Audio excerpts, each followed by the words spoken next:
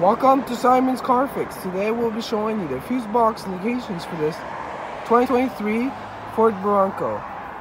The first fuse box location is located on the right side of the car, which is located right over here.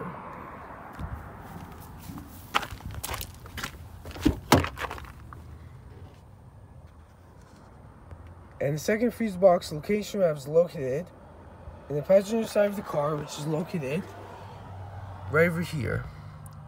And all you're going to want to do is just remove this cover out of the way, and you should see the fuses located over there. And those are all the fuse box locations for this car. Thank you for watching.